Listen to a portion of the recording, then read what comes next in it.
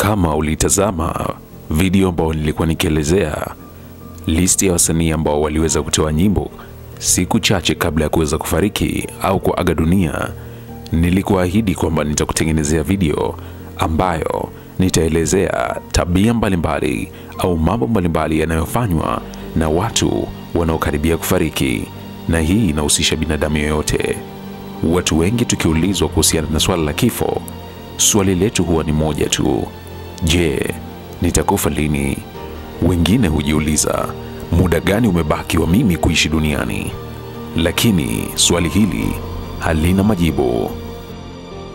Muda mwingine, kutokana na sababu mbalimbali za kiafya, kuna watu wamekuwa wakitabiriwa na madaktari kwamba wamebakiza kiasi fulani cha muda cha kuishi, lakini mara nyingi imekuwa ikienda tofauti.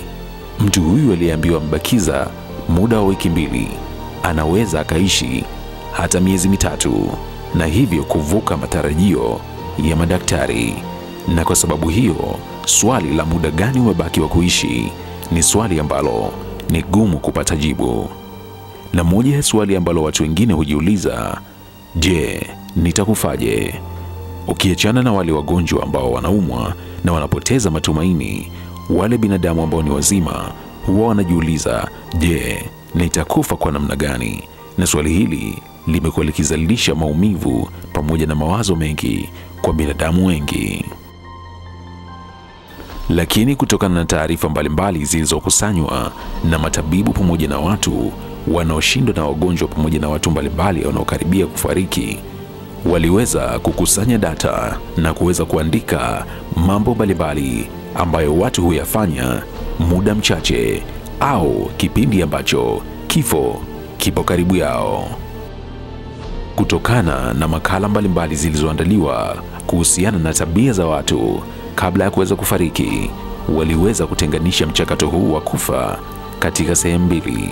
Mchakato wa kwanza ukiwa ni mchakato au ni kipindi kabla ya kifo, na mara nyingi mchakato huu hapa huweza kuchukua hata wiki mbili mpaka mwezi mmoja, ambapo mtu huyu kabla ya kufariki anaanza kuonyesha dalili fulani au tabia zake zinabadilika kwa kiasi fulani.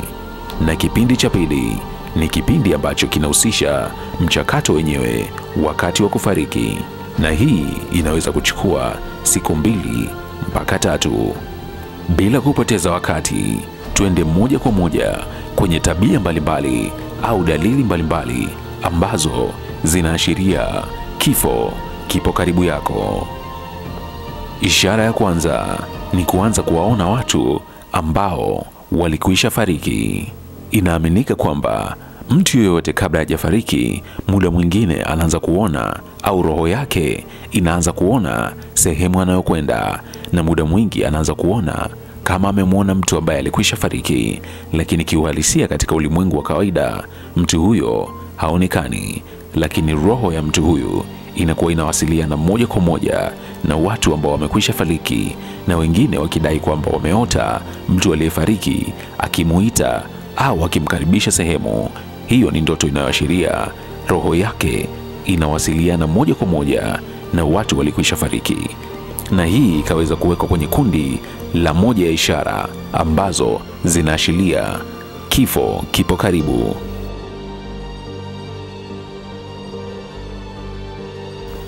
Sababu nyingine iliyotajwa na wataalamu ni kwamba mtu anayekaribia kufa au mtu ambaye kifo kipo karibu yake anaanza kujitoa kwenye shughuli za kijamii mbalimbali, na hii itaweza kuhusisha mtu kuweza kuacha kupenda kutembea, kwenda sehemu za mikusanyiko ya watu na kupenda kutumia muda mwingi akiwa peke yake au akiwa nyumbani pamoja na watu ambao wanaishi nao au familia yake.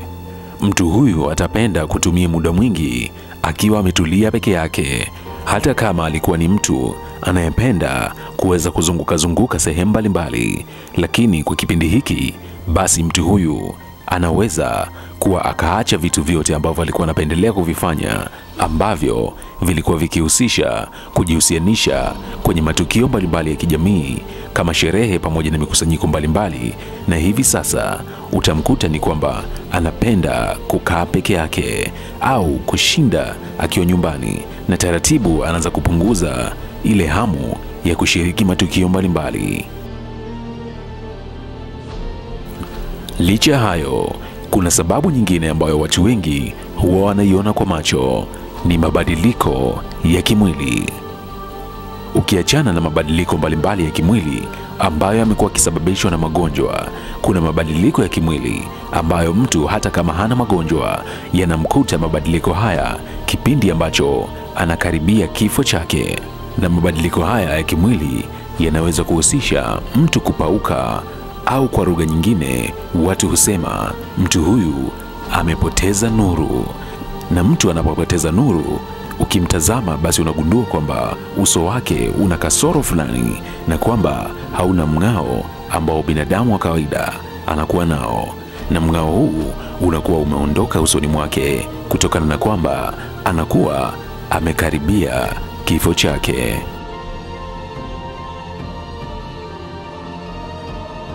Licha ya kupoteza nuru, watu wengine hunenepa zaidi na wengine huweza kupungua, lakini wengine huzidi kudhohofu, kama vile nywele kukosa afya na kuonekana ni nyepesi sana kuliko ilivyokuwa awali. Na lazima nikukumbushe kwamba sababu hizi hazihusishi sababu za vifo ambazo zinasababishwa na magonjwa ambayo kabla ya mtu hajafariki huwa yanabadilisha maumbile yake ya kimwili. Magonjwa kama vile ukimwi ambao mara nyingi kwa mtu ambaye hakuzingatia matibabu au hakuzingatia dawa zake, basi anaweza kafa akiwa ameharibika sana mwili wake au akiwa amedhoofu sana mwili wake.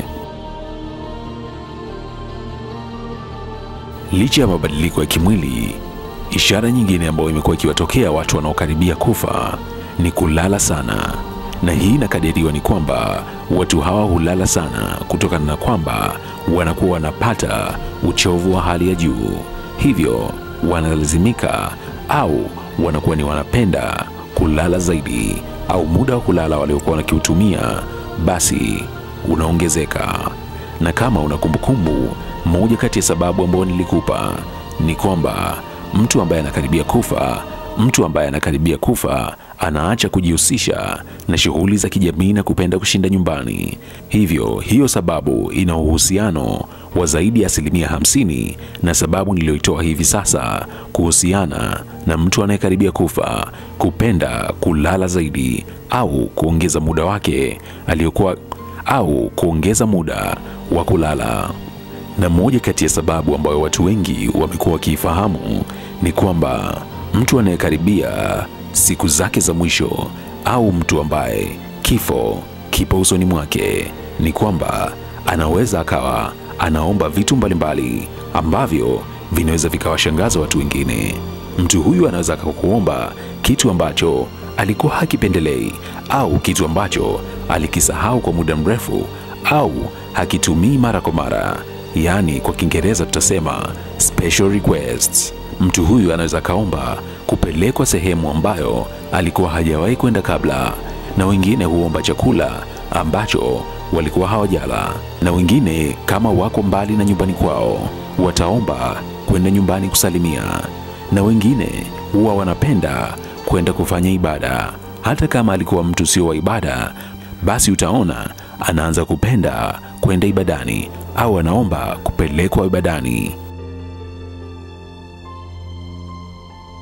Mambo yote haya niliyokwisha kukutajia yanaweza kuwa tofauti baina ya mtu na mtu, pamoja na utofauti wa sababu za kifo.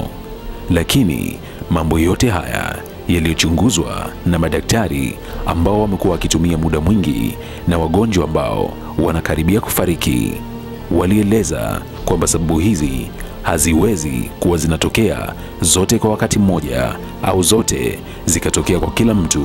Inawezekana ukapata sababu moja au mbili, lakini pia wakadai kwamba sababu hizi lakini pia wakadai sababu hizi sio sababu pekee ambazo ukiziona basi ufahamu unakaribia kufa. Inawezekana kuna mabadiliko tu ya maisha, hivyo usichukulie kila sababu itakayokutokea basi unakaribia kufa. Lakini sababu hizi zimekuwa zikiwatokea baadhi ya watu na hivyo kuweza kuwekwa kwenye mkusanyiko wake ambao nimekuletea. Tafadhali naomba usubscribe Bongo Faster ili uweze kupata taarifa pale video inapowekwa.